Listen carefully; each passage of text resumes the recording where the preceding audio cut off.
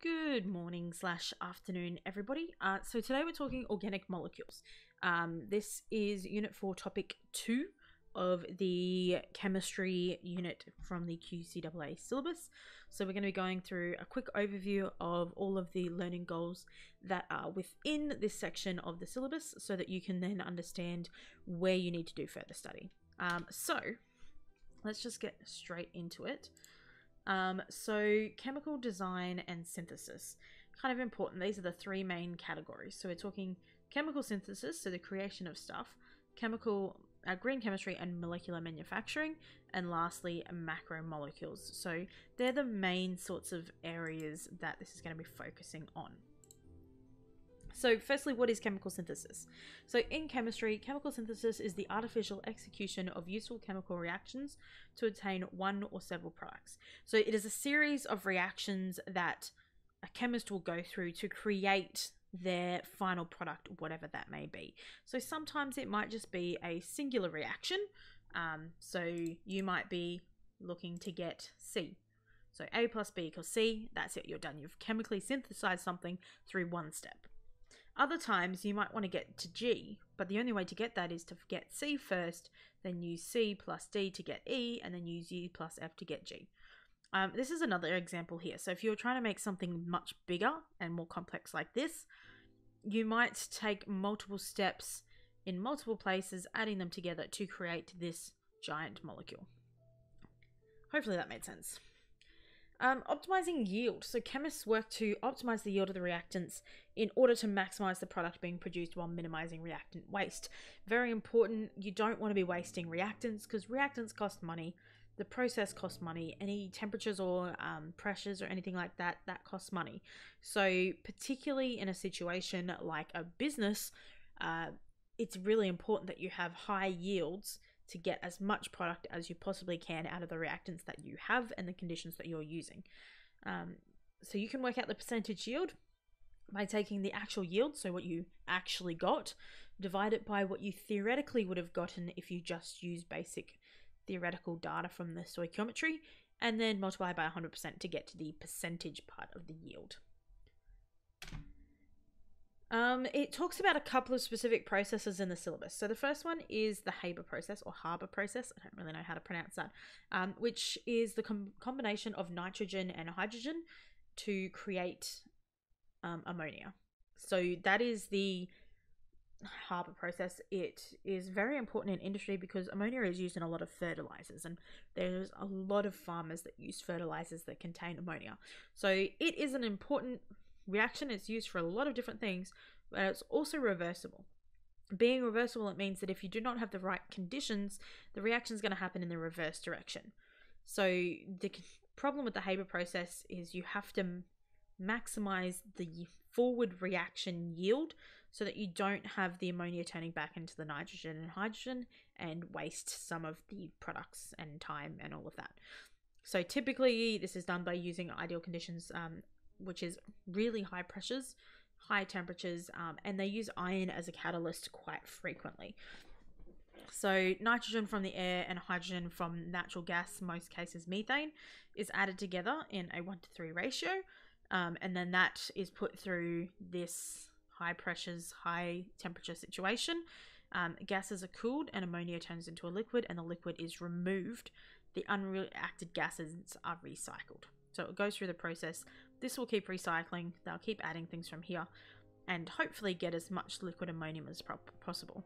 Now, if you remember back to Le Chatelier's principle, if you are removing something from the system, say the liquid ammonia, it is going to be very helpful because that's going to force it to go towards the ammonia to try and make up for that lost. So by removing that ammonia straight away from the reaction, it is increasing the yield of the forward reaction.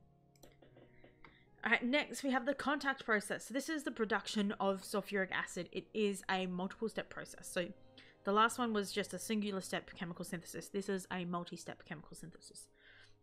So the first thing they do is take sulfur dioxide and no, actually, the first thing they do, I guess, is make sulfur dioxide.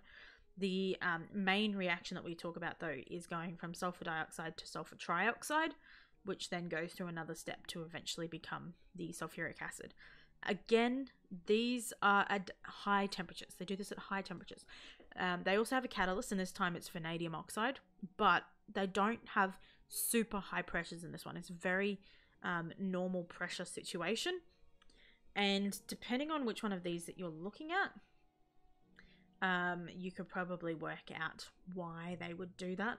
There's not a huge difference between the amount of gas particles in all of these, so adding pressure is not going to be hugely helpful. Um, whereas in this one, on this side, you have five different molecules of gas, and on this side, you have two. So there's a big difference. So adding a lot of pressure is going to help force it that way. Um, in this one, some of them have a little bit. So this is uh, one is to one gases, so that wouldn't help. Uh, this is three is to two, so it would help a little bit move towards this side, but probably not enough to justify the cost of putting it under high pressure. Um, and then these, not so much because they're gases and liquids. So that's the uh, contact process. Process. So similar manner, it uses high temperatures and a catalyst. Uh, next, biodiesel. So biodiesel can be synthesized using a base catalyzed reaction or a lipase catalyzed reaction. So lipase being um, a fat enzyme. The reactions involved in the production of biodiesel and ethanol and hydrogen fuels include addition, oxidation, and esterification reactions. You should remember that from the last overview we do did. So addition is when you break a double bond and you add something on either side of those double bonds. Uh, oxidation is when something's losing an electron, or in this case, uh, it would be losing uh, H plus. No, gaining a H plus. Um, esterification is a carbon dioxide plus an alcohol becoming an ester. So this is another pretty complex situation. So you can start most of the time it starts with vegetable fats and animal oils, um, and it can be go through multiple different processes, um, including esterification, which is then separated into things. Then you can recover the alcohol through multiple processes, which then helps in the esterification. So there's multiple loops that this can go through depending on exactly how much of something you're trying to get and what exactly you're trying to use. But for the most part, you end up with water as a byproduct, biodiesel as a secondary byproduct, and glycerol, which can be used for soap as a third byproduct. All right, uh, enzymes. We also talked about this this in the last one as well. Uh, enzymes are biological catalysts; they speed up a reaction, but there's a specific enzyme for each specific reaction that happens in the body. So they're used on an industrial scale to improve the rates of their reactions. Um, and some people think it's more natural because it's something that you find in the human body, but I don't know about that one. Uh, these things include the fermentation of ethanol and the transesterification of biodiesel. So we've got things like dairy production, lactase, catalases, proteases that help with the production of milk and cheese and cream and all of that. Brewing this is making your like beers and and stuff like that. We use different types of enzymes in those as well. Um, in baking particularly to make things rise that happens.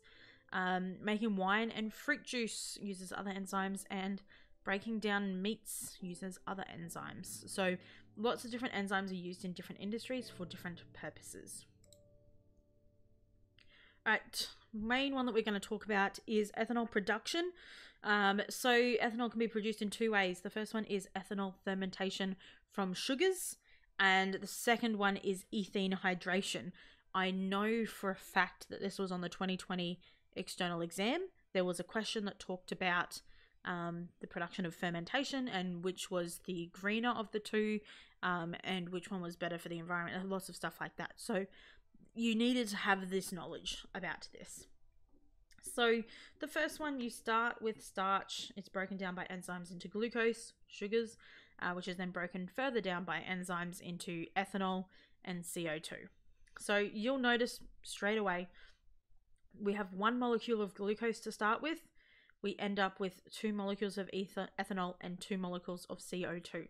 That means that this in terms of atom economy, this reaction is about 50% atom economy percentage. Uh, that doesn't make much sense, but so only 50% of this is what we want. The other 50% is CO2. Not 100% because it's based on weight, but approximately.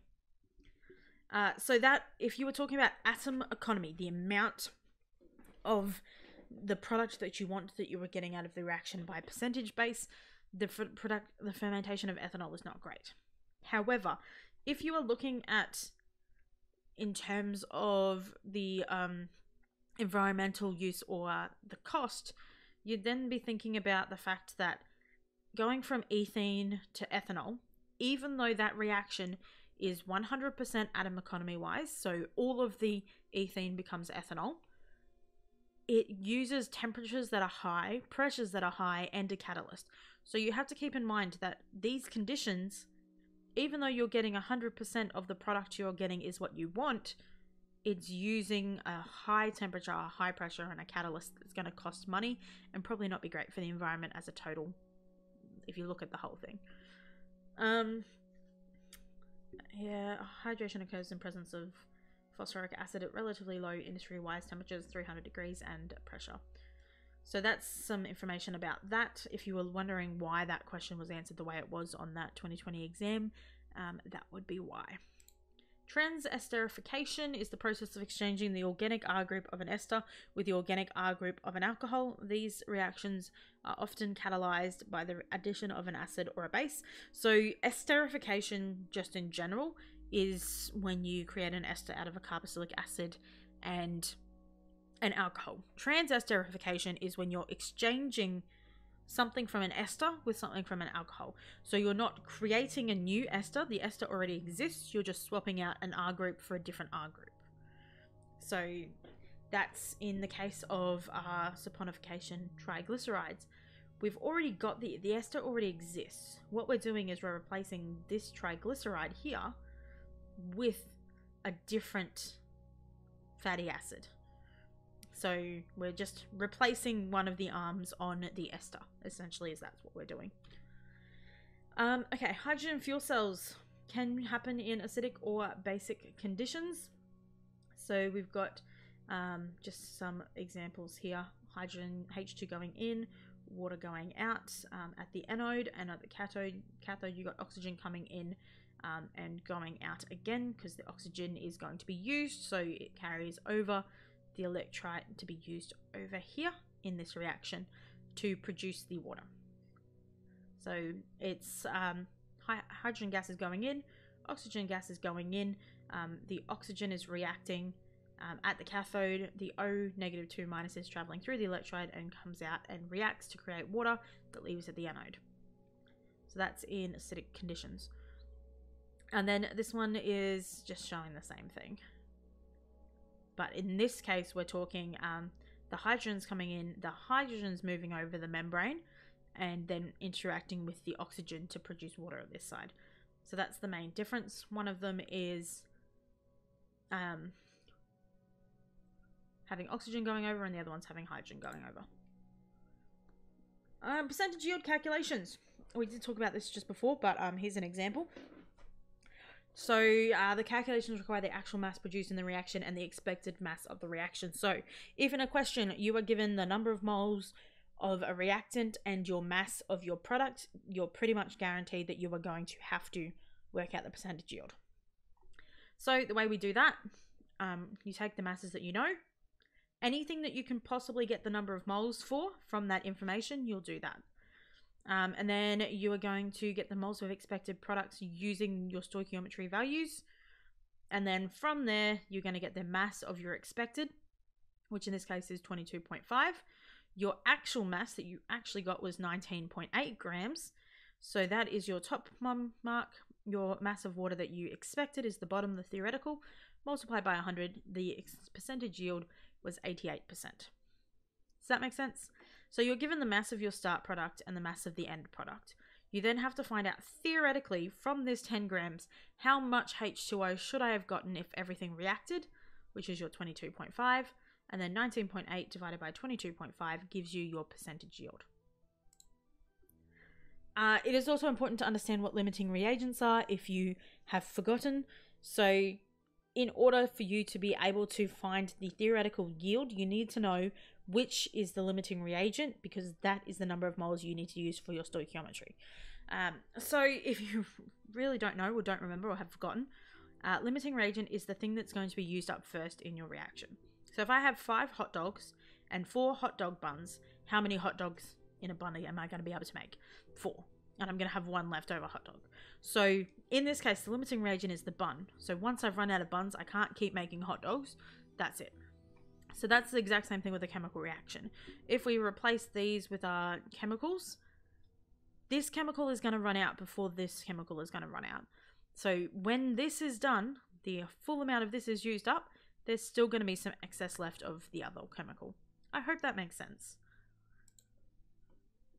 All right, green chemistry.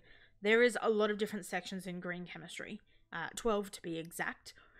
The main concept of green chemistry is trying to increase the production of the products while decreasing the reactant waste and keeping harmful solutions out of the equation.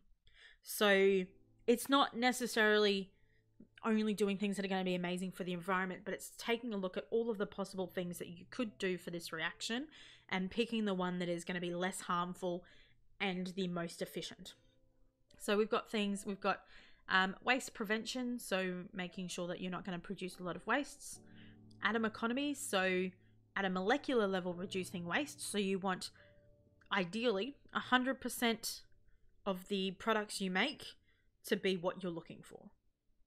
So if you are trying to make um, methane, you want the only product that comes out of your reaction to be methane. If you've got, say, methane plus water, then you're losing some efficiency in your reaction because you're not using all your model um, molecules effectively.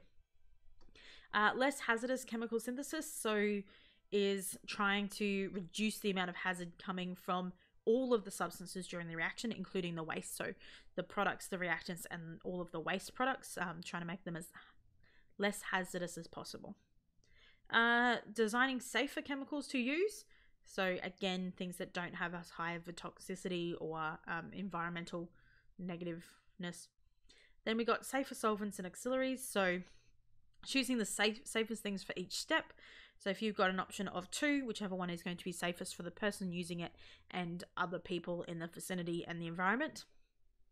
Designing for energy efficiency. If we can lower the amount of energy we need to get the reaction happening, um, including things like avoid heating and cooling it and pressurizing it, then that is going to be best to do that. So if we don't need to add extra pressure because it's not going to give that much of a result, then we don't do that.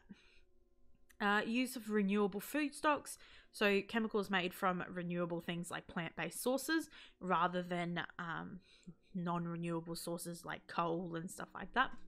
Reducing derivatives, so um, temporary derivatives such as protecting groups are things that happen in the reaction step, the intermediary step to get to what you want. So reducing those because that requires resources and creates waste. Um, catalysts. Use catalysts instead of stoichiometry reagents in reactions.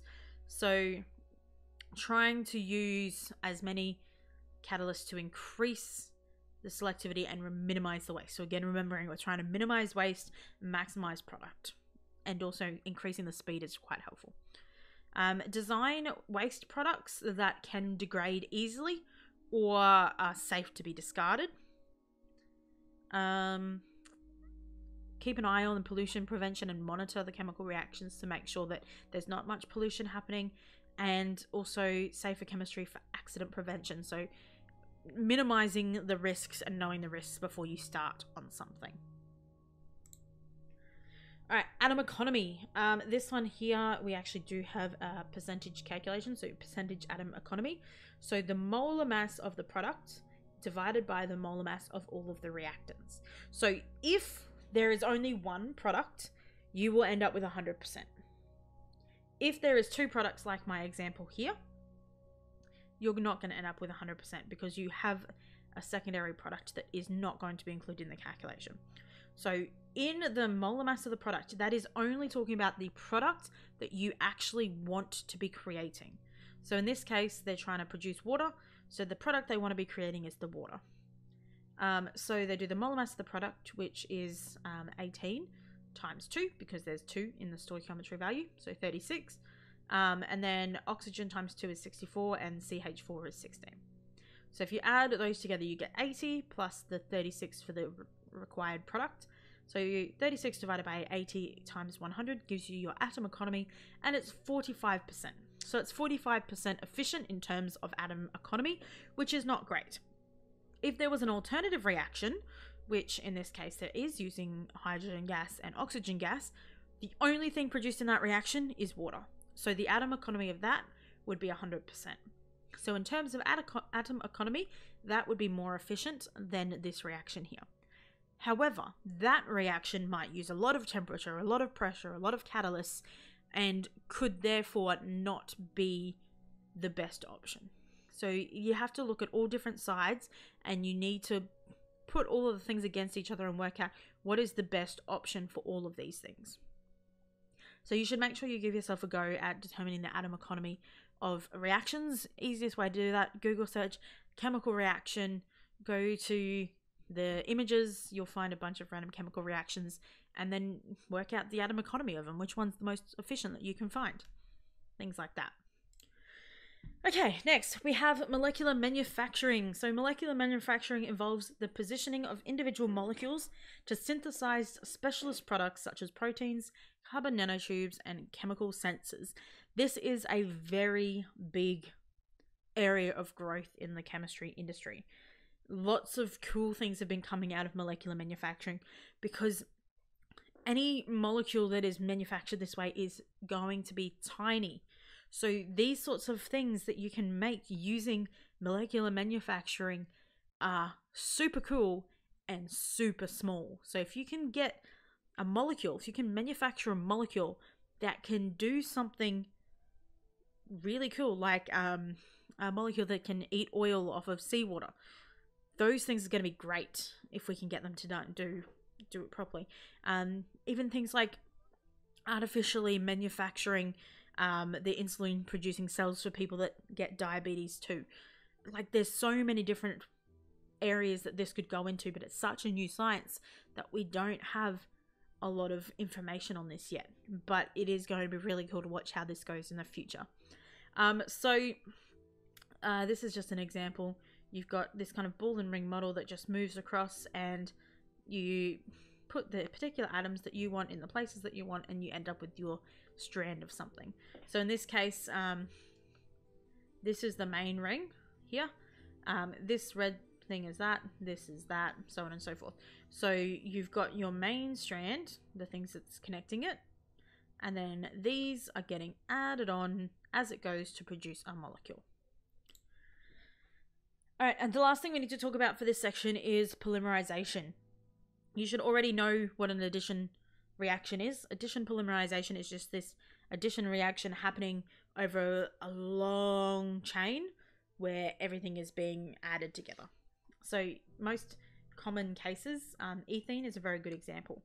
So if you don't remember, an addition reaction is where you chop the double bond in half and attach something to either end of the broken double bond. So in this case, it'd be a hydrogen and a hydrogen.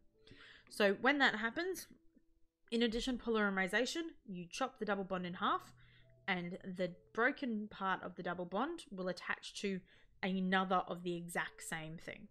So another ethene. So you'll end up with a long chain of ethenes that have had the double bond chopped that are connected together that we call polyethene. So technically, these molecules are now alkane, so it'll be ethane, but because it started on ethene when it created the chain, we still call it polyethene. So essentially, we chop this in half and it attaches to another version of itself that's been chopped in half, and it will just grow and grow and grow, creating long chains. So the ones that are specifically mentioned ethene to polyethene, propene to polypropene. Um, so this is the molecule here. This double bond breaks and will attach on either end, and then you get one group one methyl group coming off the edge. If you remember back to the last overview video, that methyl group can be in a different couple of different configurations. It can be atactic, which means just randomly on the top or the bottom. It can be syndiotactic, which means in a synchronized pattern. So up, down, up, down, up, down, highly regulated. or it can all be on the bottom or all be on the top. So that is.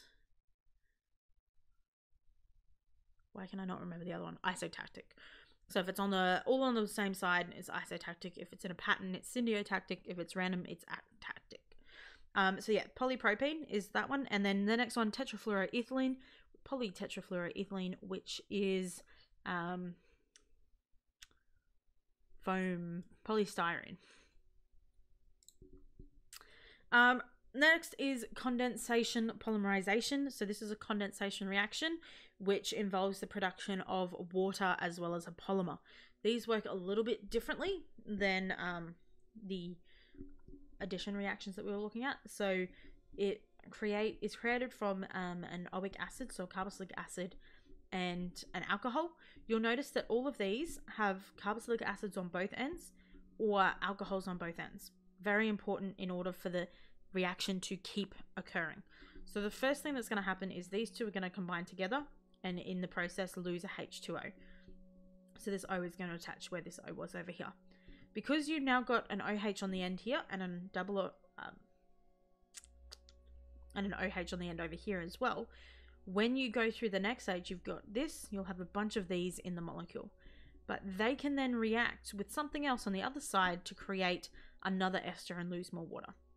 So it creates a long chain in multiple steps of first it will create this, and then it will go through the exact same process again to create another section of the chain. So it'll be looped in, you'll find one of these, and then you'll find another one of the exact same, so on and so forth. Uh, so you'll always get the production of water and then a polymer as well. So condensation polymers include polypeptides, which are proteins, polysaccharides, which are carbohydrates, and polyesters. They're all produced from the original monomers, which in this case is hexanedioic acid and ethanediol. Alright, um, polymer use. Advantages. Uh, polymers usually have high strength because the chain length increases the strength and you can make really long chains of things with this. Uh, the density of polymers can vary greatly. So uh, you can have really strong, dense plastics and polymers, or you can have uh, things like paper bags, not paper bags, plastic bags that are not as dense and therefore are a lot more flexible. Um, and they don't react very easily. It's not easy to get a polymer to react with something else without putting it under extremely high pressures and temperatures and stuff like that. Um, disadvantages uses natural resources. So most of them are created from non-renewable resources at the moment, um, and they do not biodegrade. They, like I said, they've got lack of reactivity, which means that they're not going to easily react to break down. Alright, and the last thing we need to talk about is amino acids and carbohydrates. So, firstly, amino acids, they combine to form the proteins in a condensation reaction. So, you've got two amino acids. The common things with amino acids, all of them have an NH2 group on one side and a carboxylic acid group on the other side. So, to create this long carbon chain, the C double bond COOH bond is going to react with the NH bond on another amino acid. That is going to be creating the amino bond between them and then water as well. And then the same thing is going to happen with the next structure to create this long chain as it goes through. Hopefully that makes sense. Um, carboxylic, uh, sorry, carbohydrates do the same thing. So disaccharides are formed when two monosaccharides are combined in a condensation reaction. So we've got here are two bonds and they are going to combine losing a H from one side and an OH from the other to produce this single O bond from either side. So the two OHs are going to bond together, lose a water, and you end up with a glycosidic bond. Hopefully that makes sense. Um, and this happens with the first carbon and the fourth carbon. So carbon number one and carbon number four. Hopefully that makes sense. So that's it for this. Um, that's covering most of, if not all of the things that are in topic two of organic molecules. Hopefully that made sense to you. I think possibly this section is maybe the easiest one to understand. I said the organic reactions is probably the hardest. This one's probably the easiest. Um, maybe equilibrium. But if you have any questions, please don't hesitate to ask them. Um, let me know. Uh, I really appreciate questions. It gives me an idea of what type of things you need to know that you don't already know. So, hope that makes sense, and I uh, hope you enjoy, and I shall see you in the next video. Bye.